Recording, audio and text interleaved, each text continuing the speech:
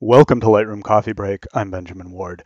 One thing that we often want to do with the crop tool in Lightroom is straighten a photo that's just slightly crooked. And of course, we can do that by dragging the slider uh, or by manually entering a value into the text entry field here, uh, or my favorite, by clicking and dragging outside of the crop frame. But one way to do it that can be really quick and easy is to click right here on the level tool, or you actually don't even have to click on the tool, just hold down the command key on Mac or the control key on Windows. And while holding command or control, draw a line along the feature in the photo that should be level, and Lightroom will automatically rotate the photo the necessary amount. This same trick can also be applied vertically.